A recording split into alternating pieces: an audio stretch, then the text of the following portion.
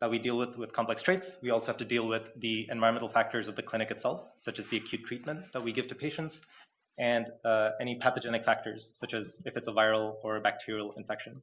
And all of these coalesce to create the complex host immune response that we see in sepsis.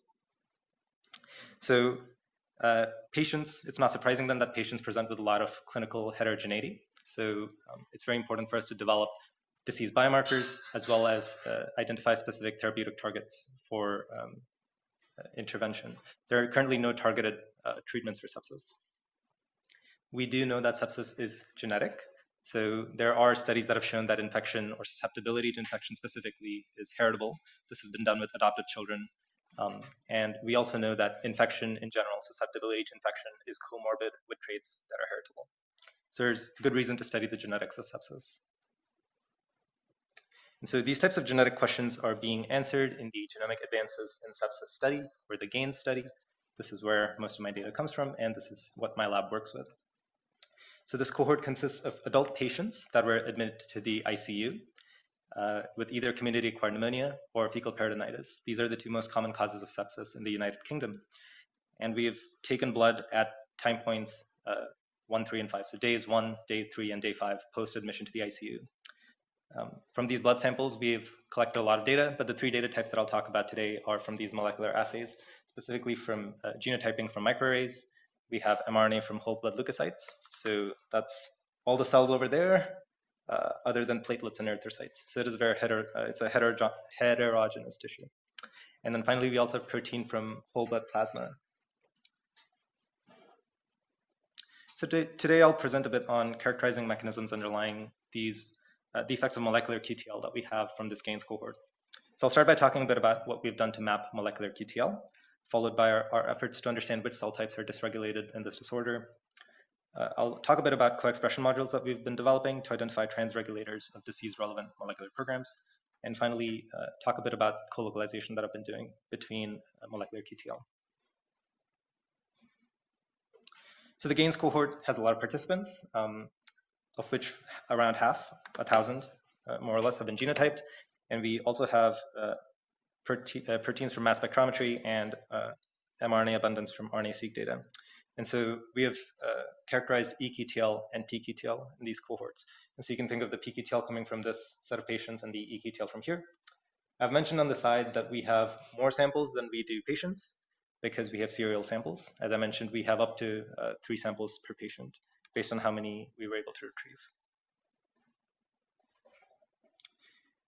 And so I'll start by talking a bit about the transcriptomics and proteomics and what's been done with the eQTL and pQTL respectively. This is work that's been led by Katie Burnham at the Wellcome Sanger Institute and Yuxin Mi at the Wellcome Center for Human Genetics at Oxford. Um, starting with the eQTL, we took uh, the 20,000 expressed genes that we detected and tested for cis-eQTL in a one megabase window around the transcription start site we identified around half, uh, half of the genes have an eQTL, so they're E genes, and of those, around 40% have more than one um, eQTL based on a forward regression approach. For the pQTL, we took more of a trans uh, or more of a genome-wide approach, so we tested every SNP uh, genome-wide. And for the 269 proteins that we had, we then categorized any identified pQTL into either cis or trans based on their position in the genome. So we identified 29 proteins that had pQTL. And as it turned out, each protein had only one pQTL. So 23 were in cis and six were in trans. I should mention, uh, since this is a statistical conference, that we used a linear mix model. And so one of the things we have to deal with is the serial samples. And so we use patients um, as a random effect to control for uh, patient effects. So I'll start by talking a bit about uh, working with cell types. So I've been retrieving publicly available ATAC-seq data to better understand uh, which cell types might be dysregulated in this disorder. And so I started by identifying this immune atlas uh, from Corces et al. 2017 and Calderon et al. 2019, which consists of hematopoietic and primary immune cell types that are relevant to sepsis. We're particularly interested in the stimulated cell types because we believe that the stimulation will recapitulate some of the biology we see in the septic condition. So to be uh, very brief, what I did was use a method called GoShifter to test for enrichment of cis-eQTL in these primary immune cell types. Um, So I started by identifying differentially accessible peaks. Uh, these are regions of the genome that are uh, easier to access under a stimulated state. And we tested for enrichment of eQTL based on this permutation-based test uh, that is implemented in GoShifter. And as you can see, we did not particularly identify any specific enrichment in any specific cell type. There's a nominal association with central memory CD8 positive T cells, but uh, nothing passes FDR. And we were not particularly surprised because uh, we do happen to know that neutrophils are the most important cell type in sepsis, and they were not represented in this atlas, unfortunately.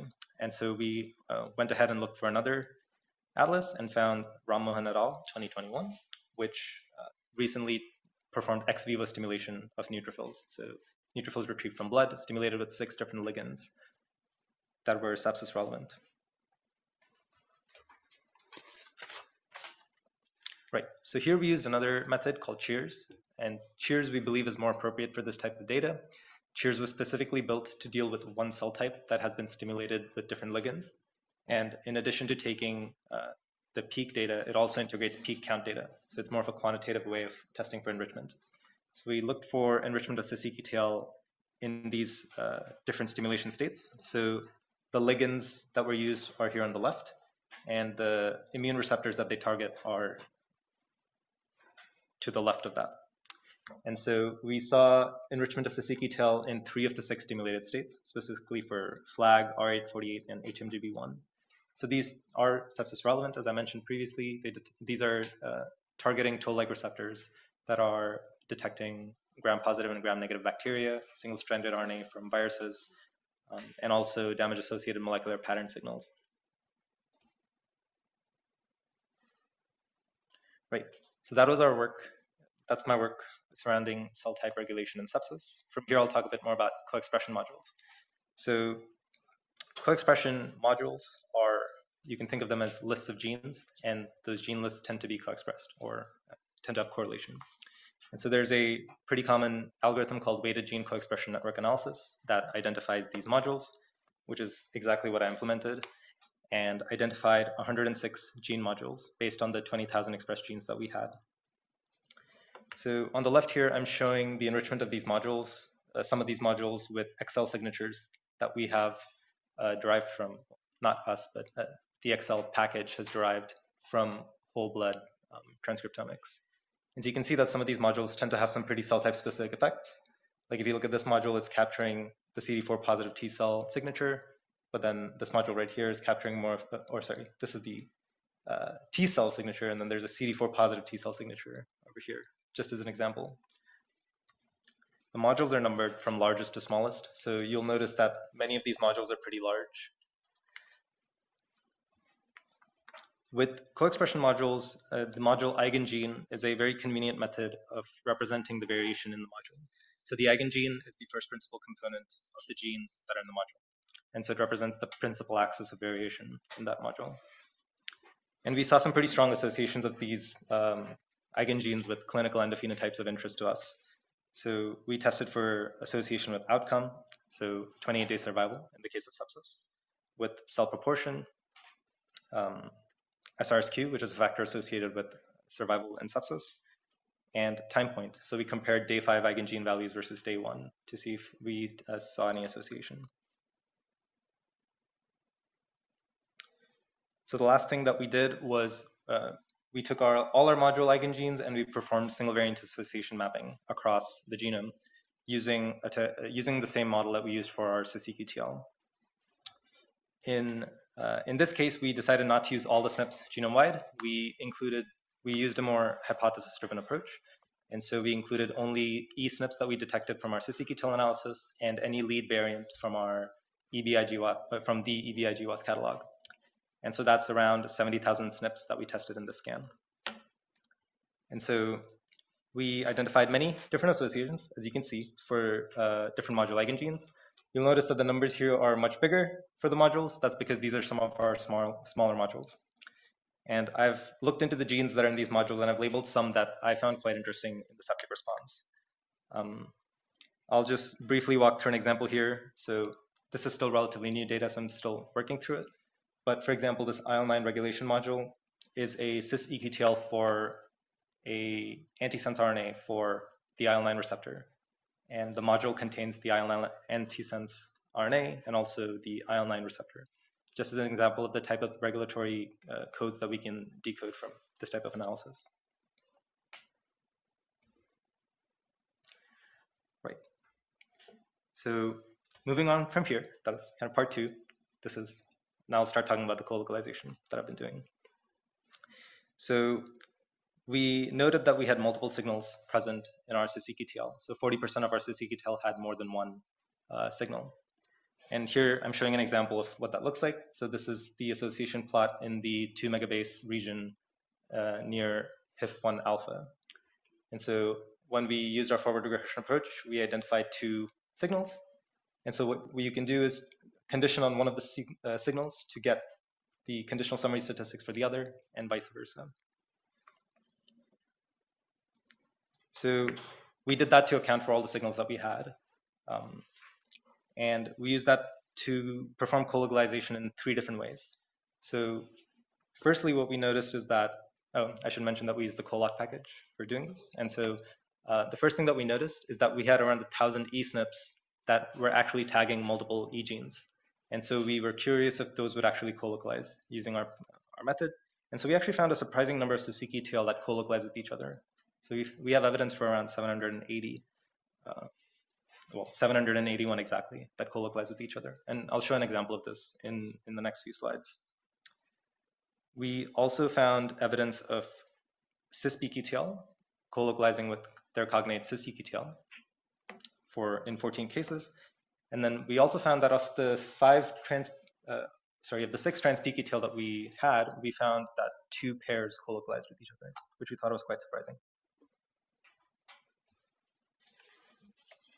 Right, so let me walk through some of the examples here. So I'll start with the cis-EQTL, as I mentioned. So these are components of the TCR beta chain. So the TCR stands for the T cell receptor, and it is a region of the genome that goes through somatic recombination uh, in the immune system. So your T cells literally, literally recombine uh, their genomic segments to develop these receptors. Um, and we found that the lead eSNP for all these components was the same. Um, in all cases. And so we tested it for pairwise colocalization and found that these regions colocalize with each other. Just as, a, as an example of what those colocalizing cis-EQTL look like. The two trans-pQTL pairs that I mentioned were also quite interesting, so I'll walk through those uh, in more detail. So I'll start by describing SERPIN-A1, uh, which I know was mentioned yesterday, so I'll just extend the discussion here. Um, SERPIN-A1 is a serine protease inhibitor and so it inhibits serine proteases. Serine proteases are released into the bloodstream during the immune response to make way for the immune system to do its work. And so serine protease inhibitors like SERPINA1 are key for tamping down the immune response, something that is dysregulated in sepsis, for example. And so SERPINA1 has a cis-pQTL in our data, as I've shown on the left here. And this is also where three of our trans-pQTL uh, lie in the same exact region. And so we were naturally curious if they co-localize. So the uh, this trans-pQTL for complement factor B and serotransferrin do actually co-localize with the SERPINA1 cis pQTL. But this uh, trans-pQTL for proteoglycan 4 does not co-localize with uh, any of the pQTL I've shown here. And to add some further evidence, the lead variants for the top three pQTL are in an intronic region, while the lead variant for the proteoglycan 4 trans-pQTL is in a coding region. So we also had expression of SERPINA1 in whole blood leukocytes. So we were naturally curious to see if we saw any colocalization with cis-EQTL. So there were four signals for cis-EQTL in this region, uh, none of which colocalized with any of the pQTL. This is uh, not particularly surprising because SERPINA1 is released by the liver, and we're not sure what the degradation process for SERPINA1 is. But in this case, based based on this, um, we hypothesized that the genetic control of SERPINA1 abundance is not in whole blood, which, which does make sense in the immune response. Right, and the final example I'll walk through is uh, for haptoglobin. So haptoglobin also has a cis-pQTL in our dataset, as I've shown here. And the other pair of trans-pQTL that co-localized are also in this region for clusterin and ITIH1. In this case, you can kind of visually see, and we confirmed with coloc that these do not actually colocalize. And we tested for colocalization with any other cis-EQTL or cis-pQTL in this region, and nothing colocalizes with this trans-pQTL signal. On the other hand, we do have cis-EQTL for haptoglobin as well in whole blood. And there are two signals, a primary and a secondary, and our haptoglobin uh, cis-pQTL colocalizes with the primary cis-EQTL in this case. Excellent. So I'll conclude by saying that uh, I've hopefully shown you that there are neutrophil accessibility profiles under specific stimulations that are enriched for cis-EQTL in our cohort, that the module QTL that we have developed will hopefully help us identify some trans-regulators of interest. So we're hoping to identify factors that are under cis regulation that might be trans-regulators of modules. And finally, that colocalization can help us understand some of the mechanisms that might underlie septic response. Some future steps for me are to use other tools for colocalization. So here we've used coloc, um, but we, we know that we're sharing a significant number of samples between our uh, EQTL and our pQTL. And so we might have to jointly um, model those, those patients. And so there are tools like HyPrColoc, for example, that provide a joint model for shared samples. And then finally, I'm also interested in using Bayesian fine mapping tools. So um, things like FineMap and SuSiE to extend these results. I'd like to end by thanking the Wellcome Sanger Institute, uh, my supervisor, Emma Davenport, of course, and everyone in the Davenport team, uh, members of the Target Discovery Institute, Wellcome Center for Human Genetics, John Radcliffe Hospital, Barts in London, GAINS investigators, uh, nurses, and of course the patients. Please contact me. Thank you.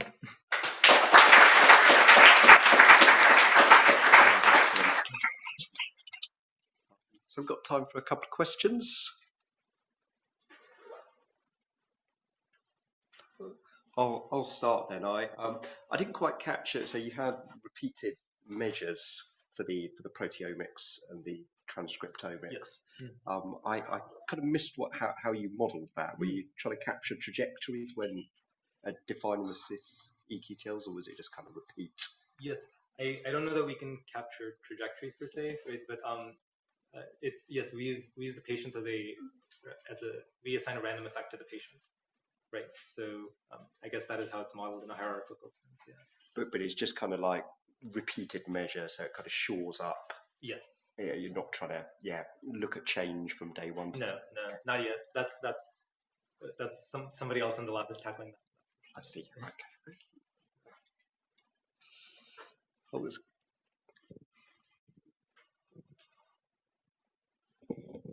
So I, I'm interested in the chromatin state data, and you, you focused on ATAC-seq here.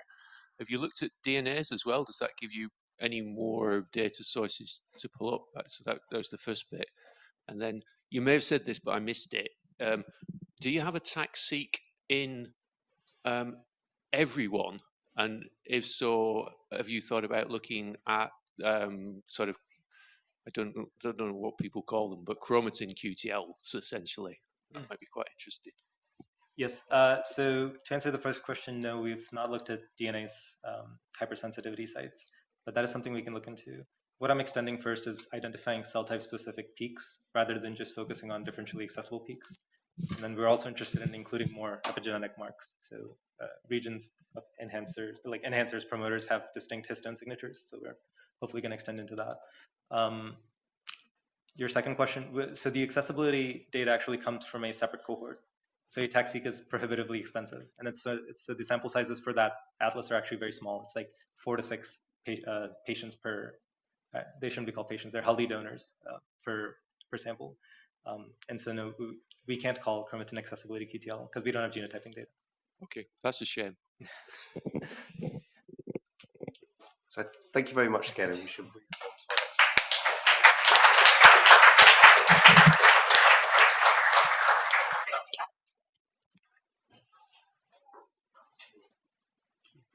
So over to Alan O'Callaghan.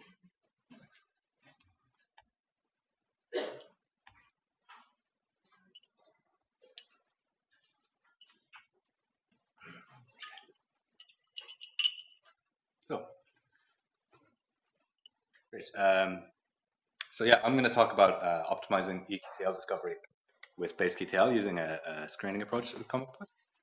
And this is work that's done in uh, MRC BSU uh, with uh, in Chris Wallace's group with, with uh, Elena Vigorito. So to uh, ah, pointing in the wrong direction. Um, to uh, give some background on the problems we're trying to solve. Um, so identifying EQTLs, that is uh, genetic lo- loci that are associated with uh, different, different levels of uh, gene expression can help us to unravel the mechanisms of genetic associations with disease. But this generally requires matched genotypes and expression data for relatively large populations. Um, but there's a lot of RNA-seq data out there um, that exists without accompanying genotypes, and particularly in disease studies looking at uh, particular cell types or tissues. And we would like to be able to use this type of RNA-seq data, especially from these cell type specific disease studies, to identify the mechanisms of disease variants, uh, disease variants, and hopefully to unravel kind of a molecular etiology. Um, so the model that I'm going to be talking about, BaseQTL, is a method for uh, for identifying uh, these EQTLs, and it combines uh, between individual components that's shown on the left, where we expect a kind of dose response relationship with a genotype, but also within individual component, where we expect um, more reads to map the haplotype that's associated with the uh, QTL. Right? And these are both uh, used to estimate this uh, uh beta AFC here, which is the uh, allelic fold change. So more formally, for the across individual component, we're modeling the counts for a certain gene for individual I, given some genotypes and some covariates that'll include things like you know the overall uh, library size and other uh, sources of heterogeneity in the RNA-seq data. We're modeling that as a negative binomial with this uh, individual specific mean mu i, and this mu i is again just a combination of these uh, uh, allelic log fold change according to the genetics and these covariates. Uh, and then we're also, uh, sorry, for the uh, within individual component, uh, we're modeling it as a beta, beta, binomial distribution where again we expect a greater proportion of reads to map to the uh, haplotype associated with the QTL. So why would you want to use this approach? Well, the Bayesian approach and the prior uh, specification we've used is uh, pretty powerful when you have many null, null and a few non-null associations, especially in uh, small data sets. Um, and Hamiltonian Monte Carlo, which is the inference engine that we use, provides relatively robust and reliable inference, um, especially compared to uh, things like Metropolis Hastings, which I've spent many days pulling my hair out trying to get right. Um, and the specification in a probabilistic programming language, uh, so it's cut off at the bottom here, we're using STAN, allows us to rapidly adapt the model to new data structures and ask new questions of existing data. Uh, so this is really, really uh, useful. But why would you maybe not want to use uh, this approach? Well, Bayesian inference I've just talked it up with Hamiltonian Monte Carlo. It's great, it's robust, but it's also uh, pretty slow. Um, and also for big data with genotypes, this kind of computationally intensive approach may not be feasible or even necessary. If you have tons and tons of power, it's probably not that necessary. Uh, and uh, generally, uh, as it stands, it's not really feasible to do kind of genome-wide uh, study this type of approach, um, just because of how computationally intensive it is. Um, but the advantage of uh, programming languages like Stan is they're always adding new features to it and extending it in different ways. And so one thing that was added a couple of years ago was some approximate inference. Uh, uh in this case, automatic differentiation variational inference. This is type of black box variational inference. We would like to apply this to our model to make inference more scalable, to identify more associations and to use more complex models. But uh, this uh, approach isn't necessarily that well characterized outside of uh, kind of relatively simple benchmarking studies. Uh, people like to use it on like logistic regression and say, oh, well, therefore it works in general. Which, uh, okay. Uh, and the quality control of variational inference is maybe less straightforward at times than MCMC. So um, we decided to apply this to 86 uh, lymphoblastic cell line samples where we have genotypes and RNA-seq. So this is kind of a, a nice test case for uh, for this approach. Um, we're looking at 100 uh, about 50,000 associations that we're testing in total.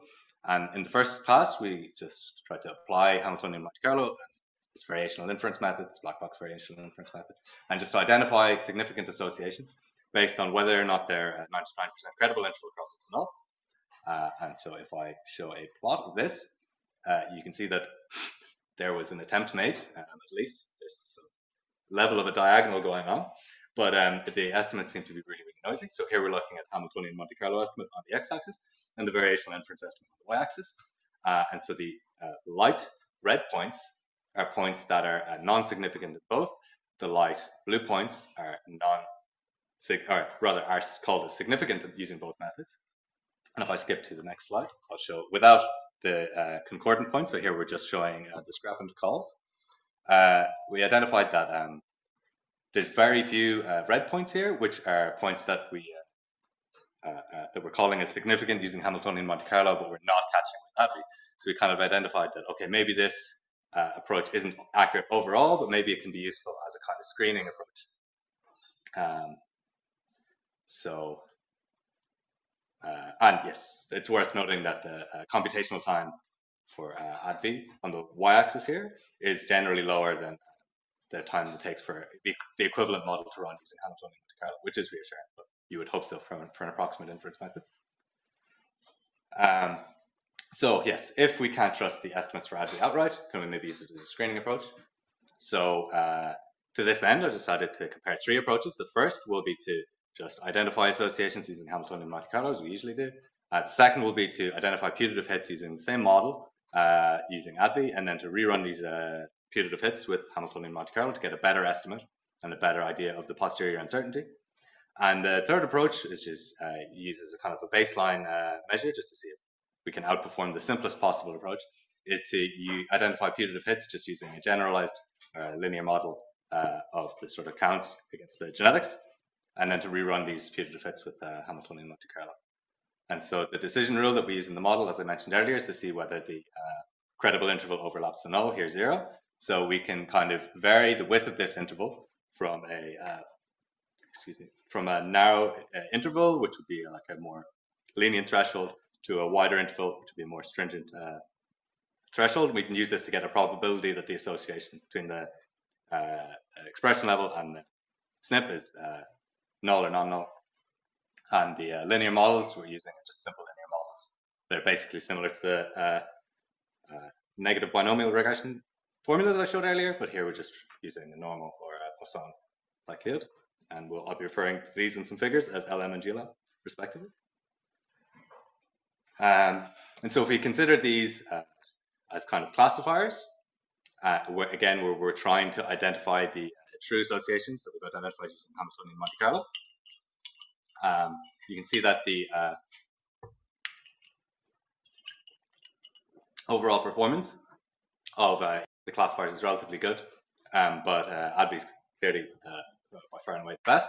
But this isn't necessarily the full story um, because we, what we're really interested in is not a kind of classifier performance, but whether we're actually gaining any time by doing adding this extra step into our inference, right? By, uh, by first running the model so that we can then run the model again, right? Um, so if we consider uh, total time that it takes to run all of our associations with Hamiltonian Monte Carlo, which is the dashed line at the top, um, and then plot the uh, total time that's taken combined with our screening approach and uh, rerunning these putative hits after the fact, and plot that against sensitivity, you can see that we can get 100% sensitivity. So we can identify all of our uh, associations uh, with a sort of total reduction in the time taken to uh, perform the whole process of about um, 80% uh, using ADVI, which is great, very great. Uh, oh, in fact, I lied.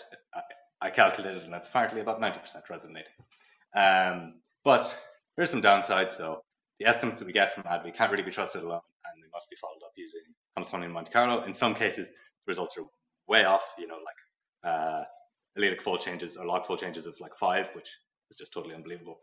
Uh, and this is also the easy case where we have known genotypes. Uh, but how does it do with more complex models? Uh, so just to recap, the we, this model is kind of a, a, combination of this negative binomial component between individuals and uh, the beta binomial component within individuals. Uh, and in this case, in the case I showed earlier, rather, the genotypes and the haplotypes are, are known a priori from like high quality genotyping data. Um, but uh, in the absence of this high quality genotyping data, we can also use uh, model using genotypes and haplotypes, haplotypes that are identified from uh, RNA-seq data. But here we want to incorporate the uncertainty on the calls. Um, and so here we're using a mixture of negative binomials uh, across the different possible genotypes that we have in the sample. And similarly for the uh, uh, beta binomial component, we're including a mixture across the possible beta binomial. Again, to be able to infer infer this allelic fold change in the presence of this uncertainty around the genotype haplotype calls. Um, so uh, the data that I'm using in this case is 92 psoriasis and 82 normal skin samples. In this case, we've got RNA-seq data only and genotypes and haplotypes called from the RNA-seq. And in this case, I'm only looking at about 12,000 tests. And uh, I've abandoned, due to uncertainty of the genotype calls, the linear model and the generalized linear model approaches, although they performed worse than ADVI in general anyway, so it's probably not that important. Uh, so now here I'm just comparing the process of identifying associations with Hamiltonian Monte Carlo, or this again, this two-stage process where I'm first screening with ADVI and then uh, running the putative hits with Hamiltonian Monte Carlo. And uh, if I show a similar plot that I showed before, again here with the uh, estimate of the allelic fold change on the x-axis from Hamiltonian Monte Carlo, and on the y-axis the same estimate from ADVI, uh, you can see that again there's a general smudge along the uh, diagonal, but it's maybe not totally great. Uh, it's also worth noting that this plot has a number of outliers removed so that again the uh, estimates are way somewhere in the basement, uh, effectively. and you can see here that the performance is like substantially worse, uh, possibly from the fact that it's like a more complex high-dimensional model. it seems to struggle a bit more. Um, and again, if I remove these concordant points and just show the discordant points, it's maybe easier to see. Uh, but there's quite a few more of these uh, uh, red point, dark red points that we're missing if we use the same uh, evidence threshold for variational inferences for Hamiltonian Monte Carlo. Um, and in this case, again, the uh, time taken uh, between the two, with ADVI on the y-axis and Hamiltonian Monte Carlo on the x-axis, is uh, it's slightly less advantageous again, so it's pretty close to the diagonal actually in this case. And for quite a few, it actually takes longer to run this approximate inference method. and again, if we consider a classifier, then our performance is relatively good, but this isn't really telling the whole story because there's a we add a time component. We're not just interested in identifying all of our associations, but we actually want to save time. Uh, and again, if I plot the uh, our sensitivity, so the amount of associations that we're actually picking up on the x-axis and the total time on the y-axis, and I show the uh, total time that it takes if we just ignore the screening approach uh, entirely and just use Hamiltonian Monte Carlo as this dashed line. Uh, here we can only achieve about a 20% decrease in our total computational time while retaining 100% sensitivity. And even if we uh, accept like, okay, maybe we can afford to miss some of these associations, we don't actually gain that much time in the end, maybe down an extra five or 10%. Um, so a little bit more discouraging.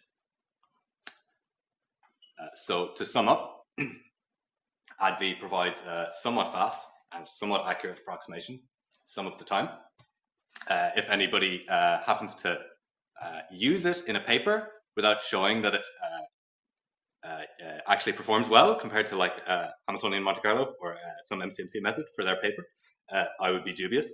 I've seen that a couple of times, and it's concerning. the error that we see seems to be kind of stochastic, which is like a little bit unexpected for a variational inference method. We expect the mean estimation to be pretty good, maybe the posterior variance to be off.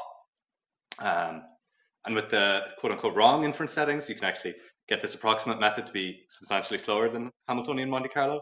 Uh, but with the good settings that I've used here, it's faster a little bit, uh, but a little, but actually quite inaccurate, and again quite stochastic. Um, but despite all these things, uh, this type of screening approach can make broader screens with our model a little bit more feasible, and uh, hopefully useful for sort of um, extensions of the model for more complex models in future. Uh, so I think that's me. I'd just like to thank uh, people I've worked with in the Wallace Group for uh, variously guidance, feedback, and encouragement. Uh, the Stan development team, who are really excellent at uh, number one, developing statistical tools, and number two, for like their educational resources. Uh, the organizers for inviting me to speak, and of course, you for your attention.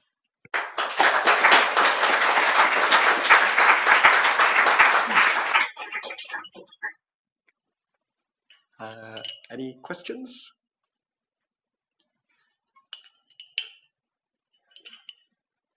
I'll, I'll st- quite a naive question. Um, uh, so, when you had certain genotypes in the first part Mhm.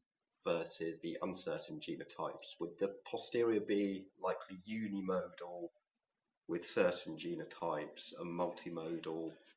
uh, and- So the the mixtures that we're using are not um, we're not inferring the probabilities, so it's less likely to be uh, uh, multimodal maybe, Okay. but uh, possibly it is still possibly it is getting stuck in local modes, because or it could be as well that so it's trying to do some uh, stochastic gradient descent. It could be that the gradients are, are, are much less well defined or much shallower.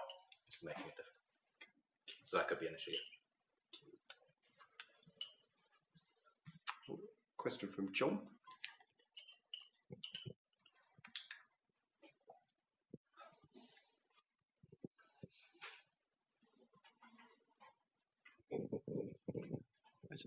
Hiya. Um, I'm just was interested in the two-stage approach. I was just wondering, did you think of doing something like really noddy as a first stage, like I don't know, t-tests or something, and then running the Hamiltonian MCMC? That was the idea behind the, the linear model, basically. Is like, can we just use their genotypes? It's just a really super fat first pass. Yeah. Oh, okay. Yeah, and then you had to draw. Like the, the, the reason it's a linear model with the uh, covariates is like if you don't model library size, then you're just gonna get like it's not gonna do. Yeah. But yeah.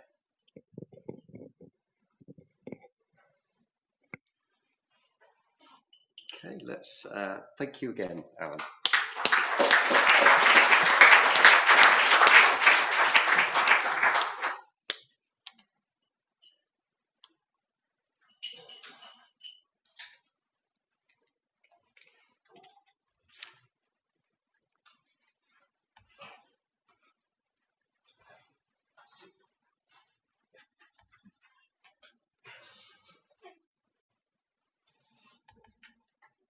Over to our next speaker, Ralf Tambets.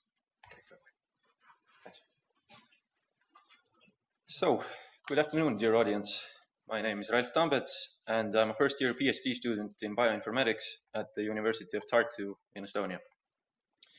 During this presentation, I'm going to try to give a brief summary about what co-localization is, about some of the tools it can be assessed with, about why a research group believes considering the central dogma to be help- helpful in co-localization research, and about the results we have obtained thus far.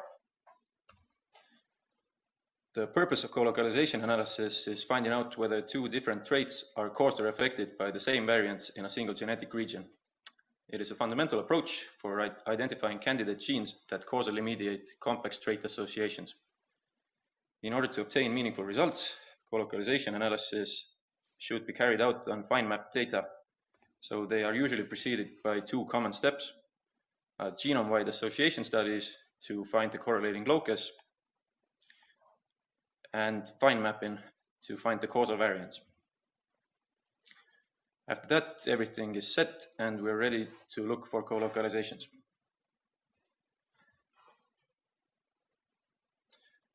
Several co-localization methods have been described over the years. Our research group decided to focus on three of them. They are eCAVIAR's co-localization posterior probability, which I will refer to as CLPP, that was first introduced in 2016, and two versions of Coloc, Coloc ABF or Coloc version 3, and Coloc SuSiE or Coloc version 5, which were chiefly developed by our host Chris Wallace and published in 2014 and 2021 respectively. The main difference between CLPP and Coloc is that CLPP operates at the variant level while Coloc works at the locus level.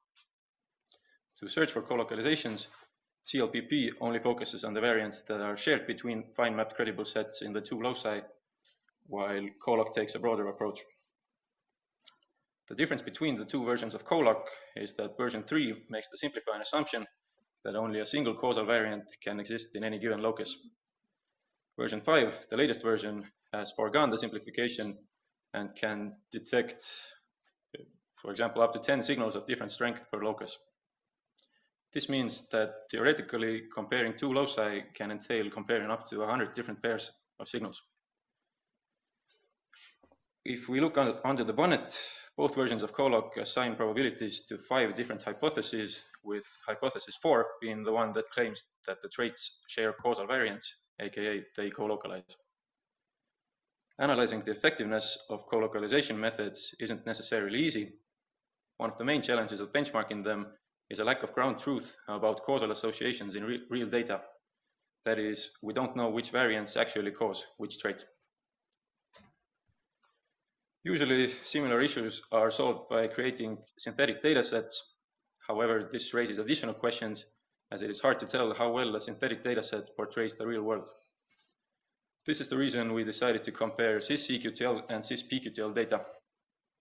We feel that due to the central dogma, it is natural to presume that the most likely causal gene for each cis-pQTL is the gene coding for the protein. Essentially, we're claiming that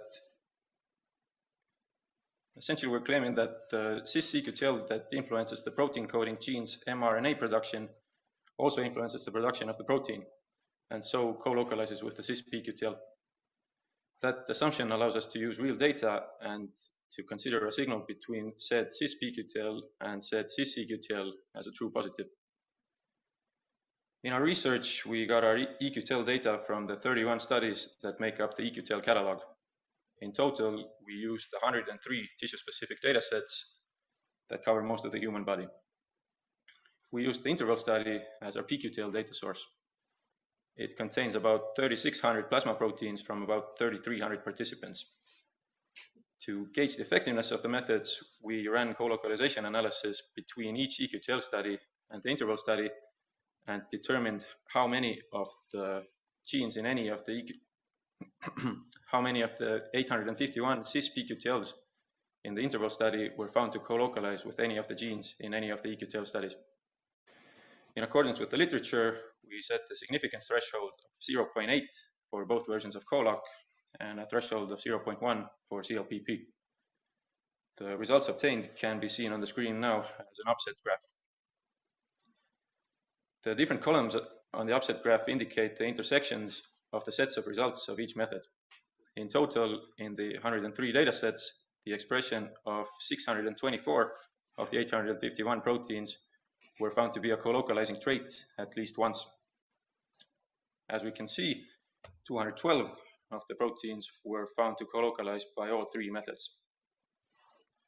The method with the biggest yield was CoLoC version 5 with nearly 600 different proteins while version 3 found 428 and CLPP found 277. It is also worth noting that only 11 signals that CLPP found at those thresholds were not found by CoLoC version 5. We can also see that version 5 found 185 signals that version 3 did not. That can be explained by what was already mentioned.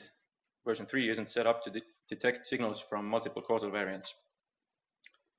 This could do with an example. So the slide you're seeing now is a locus that version 3 failed to find the signal in.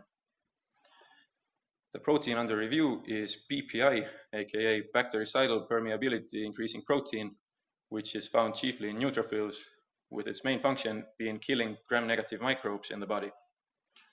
It is coded by the BPI gene in chromosome 20. The graph describes the rela relationships between the BPI protein and the BPI gene that codes for it. So in this study, we consider this signal to be a true positive. P-values assigned to the pQTL variants are shown on the x-axis and p-values assigned to the EQTL variant on the y-axis. We can see that a couple of groups of variants are clustered together on the graph, but according to version 3, the probability of co-localization is tiny, 10 to the power of negative 6. Version 5, however, is able to distinguish between the two groups and finds two separate signals that are both highly correlated with the causal gene of BPI. The probability of co-localization is high in both cases, 99% and 92%. Similar examples are pretty common in cases where version 5 found the, strong, found the signal strong enough to clear the threshold and version 3 did not the probability of co-localization that version 3 assigned to the signal was near zero in the majority of cases.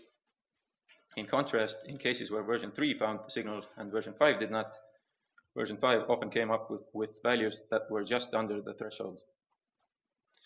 This shows that by lowering the cutoff threshold, version 5 would likely find an even bigger proportion of the results that version 3 obtained. Before powering forward, I'm going to take a minute to go over what we mean by the terms recall and precision. Recall is calculated by dividing the number of true positive signals by the sum of true positives and false negatives. In our case, the more proteins that were found to co-localize with the corresponding causal gene, the bigger the recall. Precision is the proportion of the detected positive signals that are true positives. It is also known as positive predictive value. That is, the fewer false negative values we get, the better the precision. When analyzing the recall of the methods, we can see that no matter the cutoff we pick as a co-localization probability threshold, coloc v5 finds more true signals than coloc version 3. In this and the following graphs, the cutoffs and the x-axis show how likely a co-localization has to be to be taken into account. For example, if we only look at signals with a posterior probability of co-localization, at least 80%, coloc 5 detects 52% of all true, all true signals. As for precision, coloc version 3 almost always has about a 10% higher value.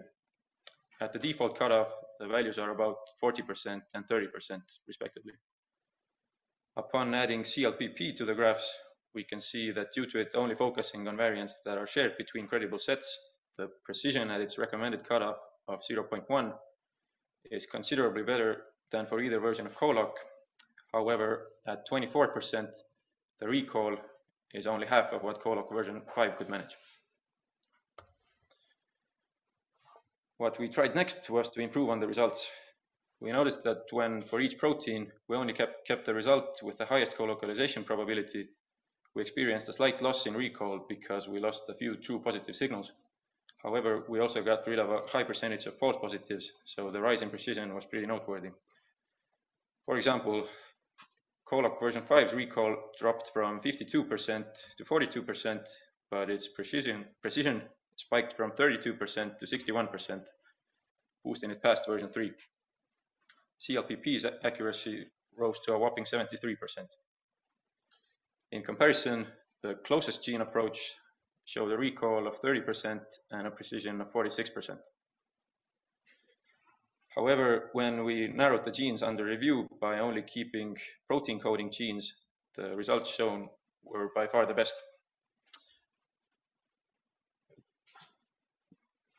Uh, of course, it should be noted that by doing so, we no longer have a level footing between the closest gene approach and the co-localization methods, as we used more than just protein coding genes when running the analysis. So our pipeline should be given another spin before completely disregarding all co-localization methods. A downside to the closest gene approach that we hope can be mitigated by using co-localization is the fact that the closest gene approach ignores context and declares that the same causal signal is seen in every tissue. This is not the case for tissue-specific co-localization. A possible future direction that we might look into is analyzing the way the signals pair up with each other. The table on the slide shows which pQTL signal was deemed to co-localize with which EQTL signal in every tissue that they were said to co-localize in. We can see that, for example, in testicular tissue, only the fifth, strong, fifth strongest pQTL signal was claimed to co-localize with the second strongest signal of the EQTL. The lack of stronger pairs makes this pairing seem suspicious. An interesting observation was that according to domain knowledge, the likeliest cells to find the BPI protein in are neutrophils, and they happen to be the only cells in which the two strongest signals of the PQTL lined up with the two strongest signals of the EQTL in. Right now, mind you, this is the only such table that we have generated, so it is too early to make any grand statements. I'd like to leave you with a couple of take-home messages.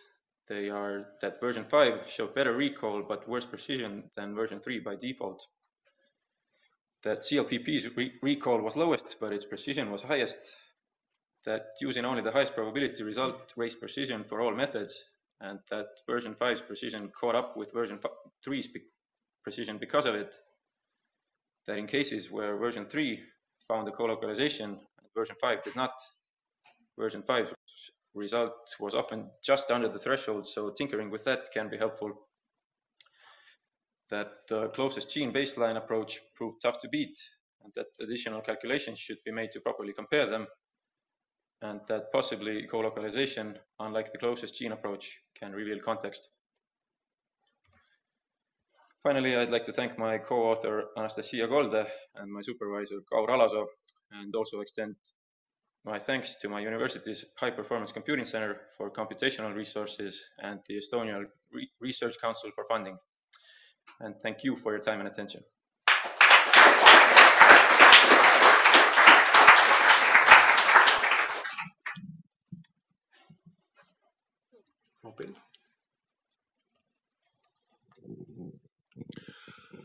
Hi. Um, there's plenty of examples in biology where protein levels are not determined by mRNA abundance. Um, now, it's not particularly common, but it is there. Do you have any any idea or any feel for how common that might be amongst the proteins you're looking at, particularly since you're looking at plasma protein levels, and, and as you're saying, it could relate to expression in a whole bunch of different tissues, be dominated by one.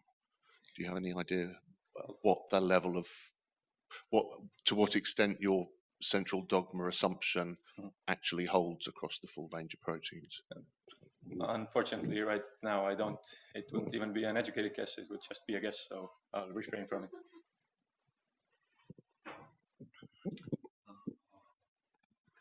Here, Daniel was next, I think.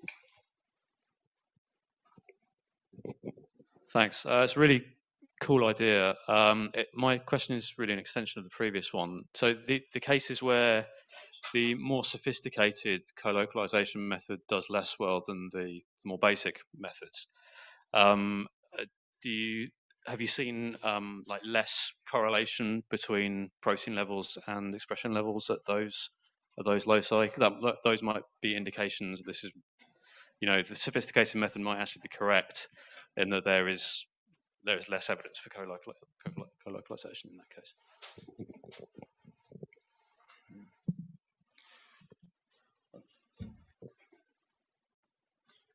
That's something we need to take a look into. I can't answer that right now. Sorry. Sure.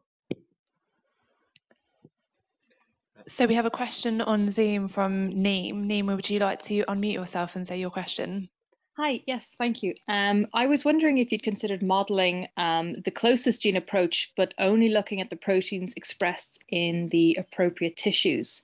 That last figure you showed of the different tissues um, was quite interesting, and I just wondered how that would affect the precision and recall.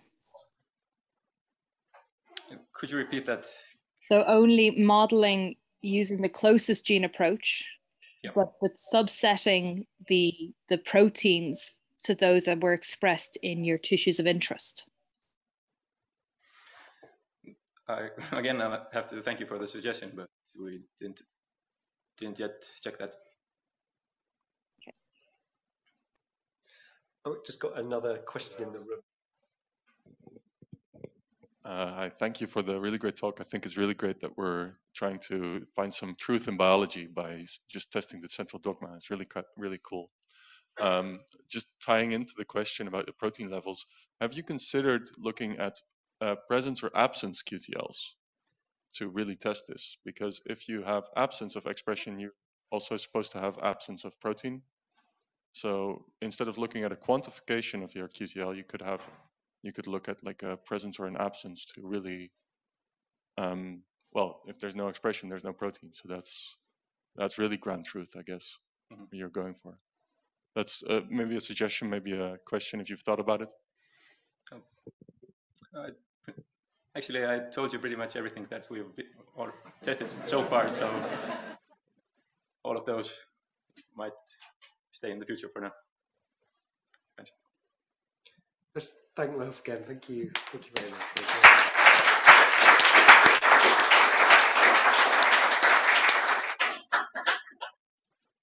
I think our next speaker is virtual.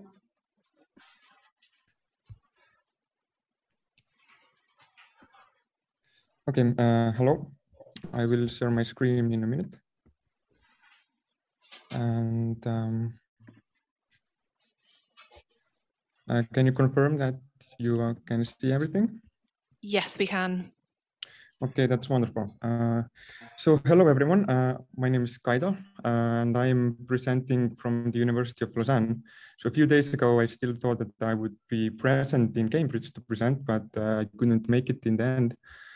Uh, so I'm very happy that this conference is held in hybrid format and I'm still able to talk to you about my work on mediation analysis. Uh, to get started, consider an exposure X and an outcome Y, and let's assume that we have identified that there is a causal uh, effect between them. So we mark it with the directed edge here.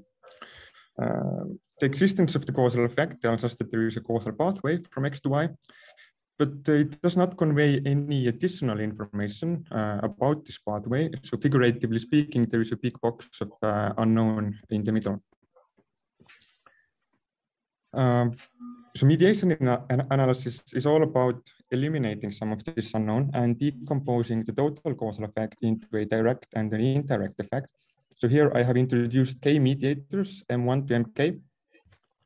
And we call the effects from X to Y that go through these mediators, uh, the indirect effects, and they can be estimated as the product of uh, gammas and deltas. And the total indirect effect is the sum of these. And the direct effect represents the causal pathway that does not go through the mediators and is represented by uh, alpha. And the distinction uh, of direct and indirect causal effects makes it possible to ask interesting questions about the human biology. And this is something that uh, our group in Lausanne has recently been interested uh, doing, and specifically in the context of determining the role of uh, omics mediation between uh, different traits. And those of you who visit, uh, who are in Cambridge, had a chance to visit the poster session and possibly talk to a colleague of mine, Marie Sadler, uh, and already get a glimpse into some of the work that we have been doing in here. And specifically, Marie looked at uh, uh, like studied the causal effects from DNA methylation and to disease, and, and in, in what extent do they do these causal effects cascade through gene expression and, and, and protein abundance? And this is a this is a paper, uh, I mean, there is a paper about this study that was recently published on bioRxiv. So those who did not get the chance to talk to Marie, I encourage you to look it up and, and, and, and read. Uh, but the problem that I have been uh, trying to solve is, uh, is somewhat similar, but, uh, but a little bit different as well. So we're trying to kind of find which omics layers detectably mediate uh, causal effects between cardiometabolic risk factors to disease. But while tackling this question, and this is also something that Marie notes in her paper, is that the methodology to robustly perform mediation analysis in large scale with potentially hundreds or even thousands of mediators is somewhat lacking. Uh, so in the following presentation, I will introduce you to how we started off with the analysis, what are the caveats of existing methodology and, and, and what we propose to improve on it. So when I say robustly performing mediation analysis, I mean doing it in a Mendelian randomization framework that is resistant to confounding from unmeasured variables. And it can be done in, in three steps. So the first step, we would perform a univariable MR, testing for the total causal effect of the exposure to the outcome. And this is the standard uh, directed acyclic graph of a of a Mendelian randomization analysis with in, uh, with instruments G1 to GS. And this kind of graph you have seen many times already, so I won't uh, discuss the assumptions and anything. The second step, we would perform a multivariable MR by considering all of the mediators together with the exposure as risk factors in the model together and estimating the direct effects from the exposure and from the mediators and, uh, and here I would like to note that we are making a distinction between the instruments to the exposure, the G's, and instruments to the mediators, the F's, even though in, in multivariable MR, this distinction is not necessarily uh, required. And the, for, uh, the third step would be using this direct causal effect and the total causal effect to find uh, what is the proportion of the causal effect between X and Y that goes through the mediators or equivalently, what is the direct effect proportion? And one way to do that is to simplify the ratio of the direct and total causal effect. Or if we have many exposure outcome pairs that we have analyzed, we can also put them into a scatter plot and, uh, and, and run a regression analysis on these points here and take the, uh, the slope of the regression line as the, as the direct effect proportion. Uh, however, while this sounds all good in theory, uh, we encountered a, a, rather large problem in our analysis where the exposure sample size was considerably bigger than the mediator sample size. And this is typically the case when, uh, when studying how different omics uh, layers uh, mediate causal effects between complex traits, because omics data such as transcriptomics or proteomics or, or, or uh, even uh, metabolomics, um, uh, they, they usually are measured in much smaller samples where the sample sizes might range in thousands or tens of thousands while the while the complex traits are measured in, in bigger samples like the UK Biobank that have sample sizes in the range of 300,000.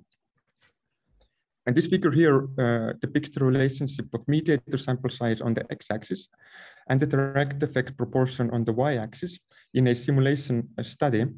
And the yellow uh, line here uh, gives the direct effect proportion estimate of the MR framework in a, in, in, in a situation where the exposure sample size is fixed to 300,000, there are 500 mediators, of which 5% are non-zero, and the true direct effect proportion is 0.85. And the difference from, from this yellow line to the black horizontal line gives the bias of our uh, of our, our MR uh, framework. We're estimating the, uh, the mediation. And as we can see, this bias can be very substantial. So whenever the mediator sample size is in the range of 1000, we are almost not able to detect any mediation at all because of the bias. And there's an opposite effect when the exposure sample size is smaller than the mediator sample size. So this situation is not likely to come up as often uh, because uh, because omics data usually have smaller uh, sample sizes. But this figure represents the same simulation study as in the previous slide. But here we have fixed the mediator sample size to 30,000 and varying the exposure sample size on the x-axis. And we can see that we greatly underestimate the direct effect proportion when the exposure sample size is much smaller than the mediator sample size. And to, uh, to get what is going on, um, let's consider the multivariable MR model.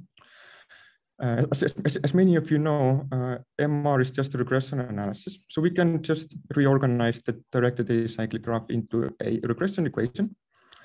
Uh, the cells in the empty vectors and matrices here uh, correspond to the estimate of the instruments on the outcome uh, depicted as the small p hat, or to the to the mediators depicted as the big p hat, and to the exposure depicted as the beta hat. Uh, uh, and, and, these are the summary statistics that are available to us and that are used to perform an MR analysis.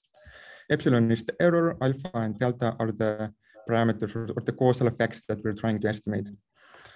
And uh, when performing an inverse variance weighted MR analysis to estimate the causal effects, we're essentially minimizing the sum of squares of errors of this regression model.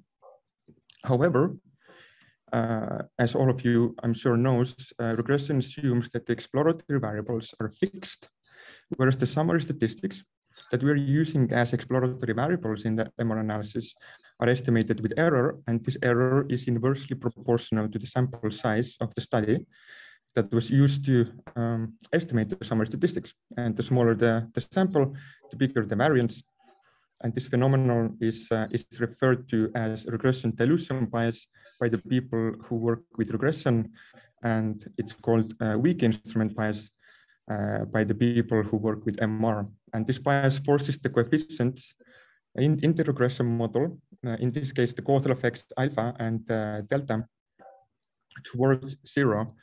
But the forces acting on these, uh, on these parameter estimates are different due to the sample size differences.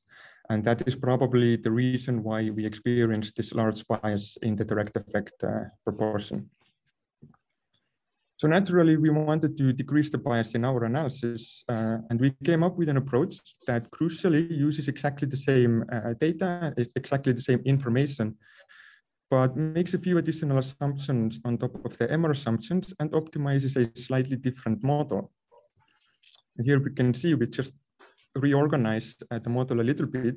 We introduce, uh, sorry, I went too far. Uh, we in introduce uh, basically the gammas or the direct effects from the exposure to the mediators that the multivariable MR model uh, was not considering. And this is the main difference actually.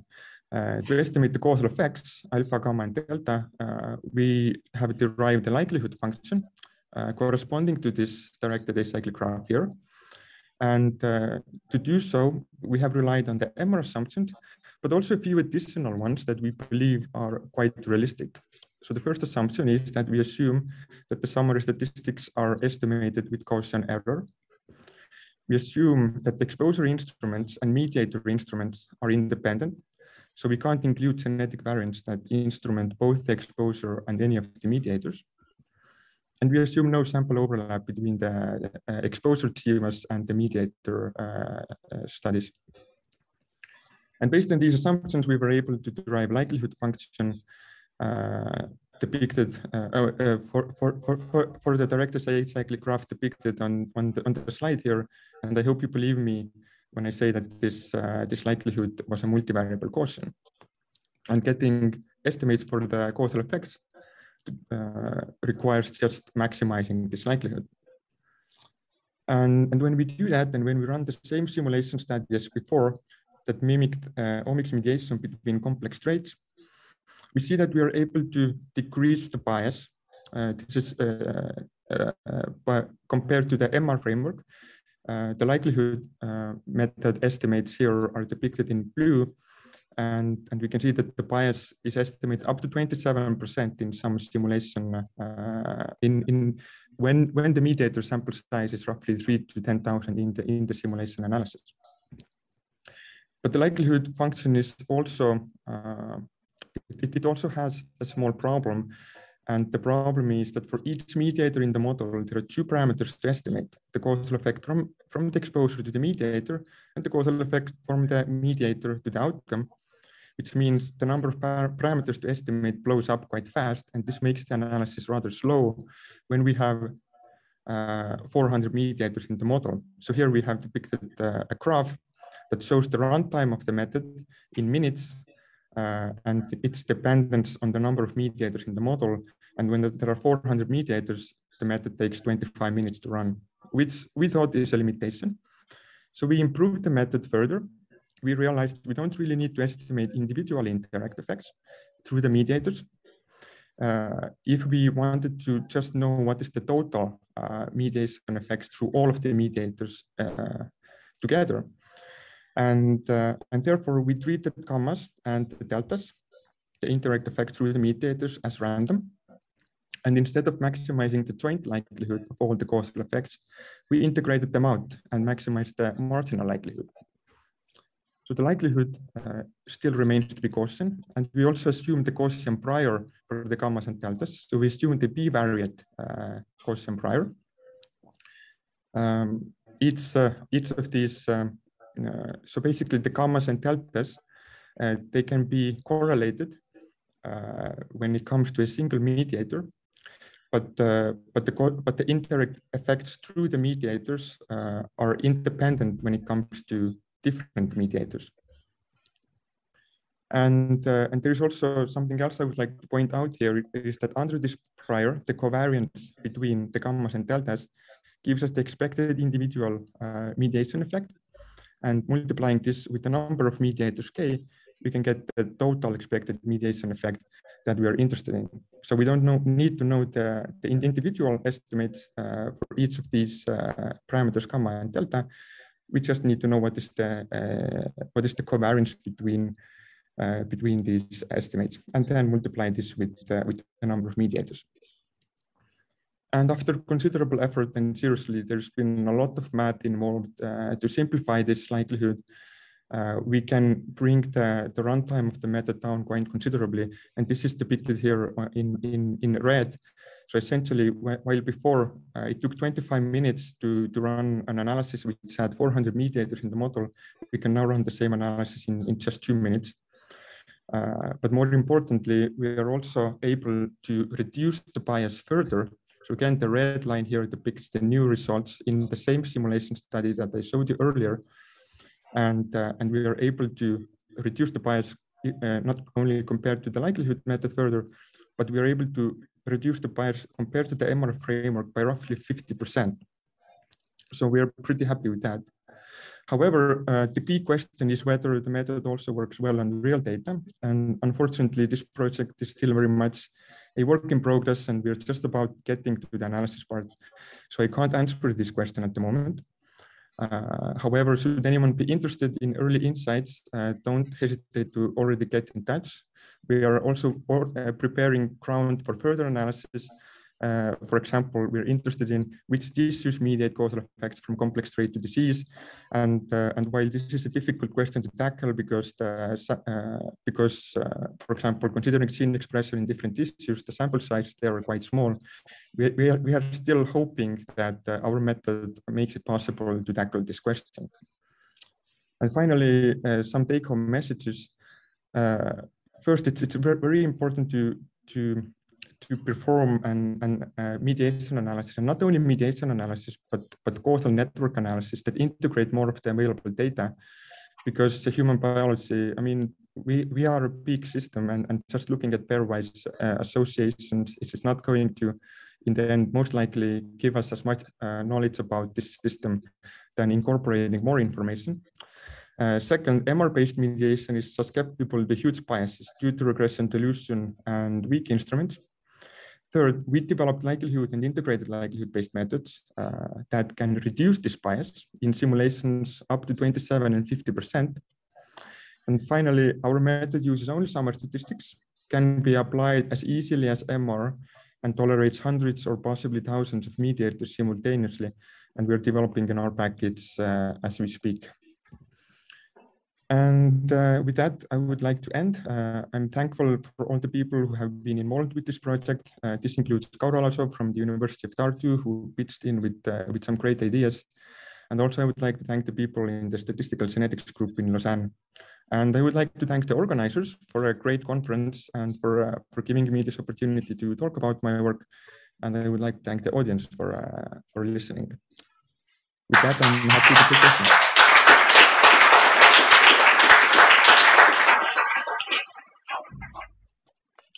Do we have any questions in the room? Uh, any online questions? I'll, I'll start with um, uh, uh, very nice talk, by the way. Thank you. Um, so I understood that the approach is trying to account for the um, uh, the smaller sample sizes available for the mediators, um, but I, I suppose intuitively you would need some level of precision around the causal effect estimation of the exposure to, to be able to kind of understand or decompose what it's being mediated by. Is, is that something you've thought about? Almost kind of from the other side, any uh, develop, is there any way to develop a feel for how how well you you need to be able to instrument the exposure to be able to start to ask about mediation? Uh, well, well, this is this is uh, precisely the relationship between the sample size of the mediators and the sample size of the of the exposure that I talked to you about, and I, and I can actually show you another figure here.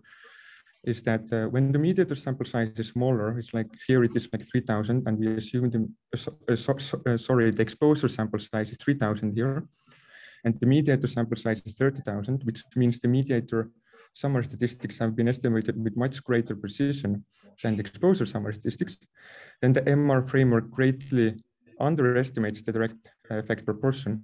So there is this kind of balance uh, between the between uh, like going on there, uh, and and this is actually crucially to show that our method is able to correct for that kind of bias as well. So for sure, you need uh, large enough sample sizes to reduce the weak instrument bias for the exposure as well. Um, but uh, and, and this is this is something that we are considering and, and this is something that we have been looking and uh, and uh, and currently it feels like our method uh, does quite well in that regard. Thank you. Other questions? Okay, so let's thank uh, Kaido again. Thank you very much.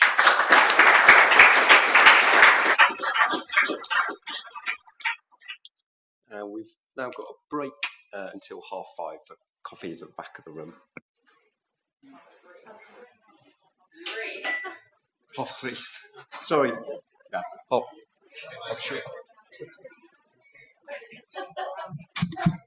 では、「よっこい!